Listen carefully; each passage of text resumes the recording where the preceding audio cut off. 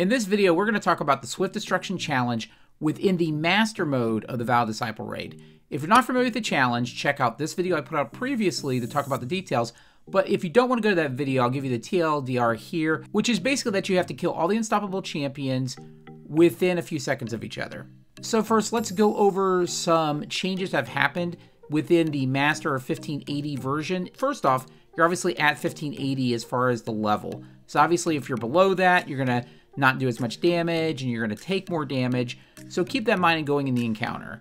I would try to be within 10 light level of the encounter at least before you try this. The other changes are you're going to have more champions in the encounter, so you'll see champions that you did not see when you did on normal mode. You're going to have match games, so anything that has shields on it, they're going to be a little bit tankier, and you're going to have no radar. So that's something to keep in mind. Specifically for this encounter, the champions that are going to change is you'll obviously know, know that there's unstoppable champions in the encounter, and you get those when you kill the Glyph Keepers.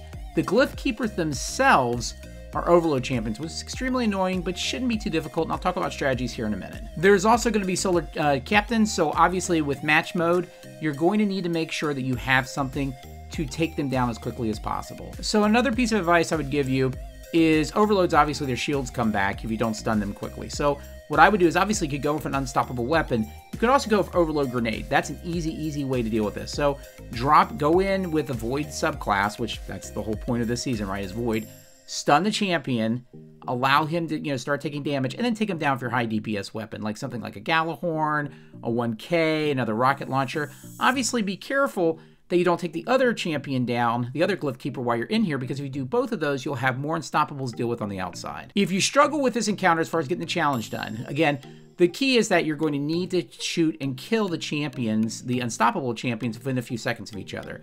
One way we did this when we did the encounter is we basically waited until everyone was in position to stun their champion. And then on your screen, you're going to see stun the champion, stun the champion, stun the champion. When you see that, that tells you that it's time to take the champion down because you'll know all three people stun them, and when they're stunned, they take more damage. So that's something first off I would do. That makes the encounter much more manageable. If you're lower light level and you struggle with that, there's a couple other things I would do. You go with stasis. So if you have a bunch of warlock with stasis, similar to the gatekeeper challenge, you could continue to freeze the unstoppables to keep them in play. Since it's higher light level, you can also kind of chip at their damage. You want to be careful that on normal mode, but in master, since they're going to be a little beefier, you could definitely do that.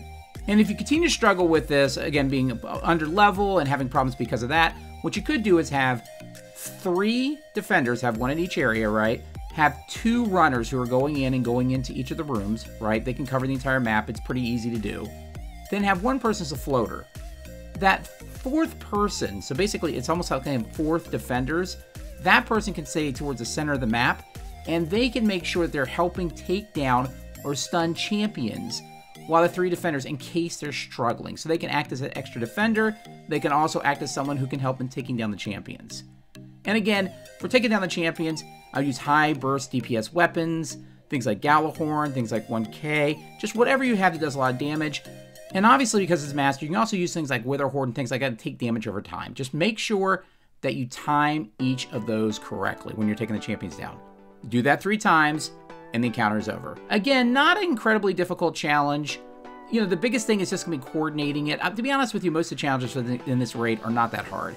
I would say probably this challenge and probably the second challenge are going to be the hardest. I don't think Rhulk's is going to be that hard, and I don't think the one um, in the third encounter is going to be that difficult either.